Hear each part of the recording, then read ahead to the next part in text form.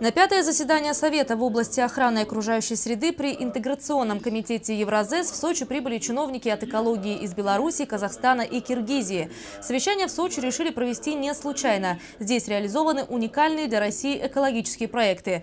Государства-члены Евразес больше всего заинтересовала программа утилизации отходов и рекультивации свалок. Вопросы, прежде всего, конечно, а, работа с отходами, э, нормативно-правовая база и технологии, которые сегодня позволяют извлекать то, что осталось еще сегодня в отходах. Э, отходы загрязнения – это как бы нам досталось наследство еще от Советского Союза, когда, в общем-то, эксплуатировали хищнические э, имеющиеся ресурсы. И сегодня стоит большая проблема, э, значит, э, уничтожить э, значит, эти отходы.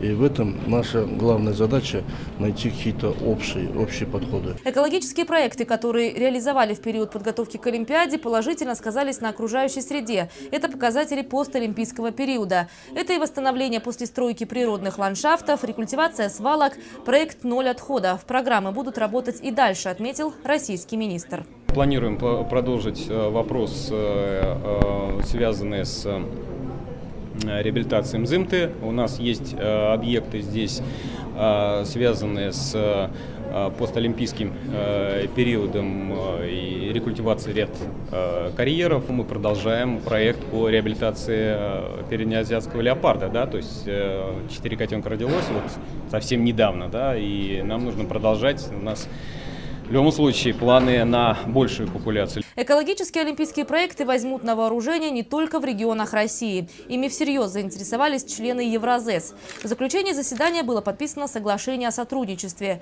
В следующий раз в таком составе министры экологии соберутся в сентябре в Киргизии. А завтра члены экологического совета примут участие в посадке саженцев на территории Сочинского нацпарка. А Сергей Донской вручит награды сотрудникам Кавказского биосферного заповедника в связи с 90-летием особо охраняемой природы природной территории.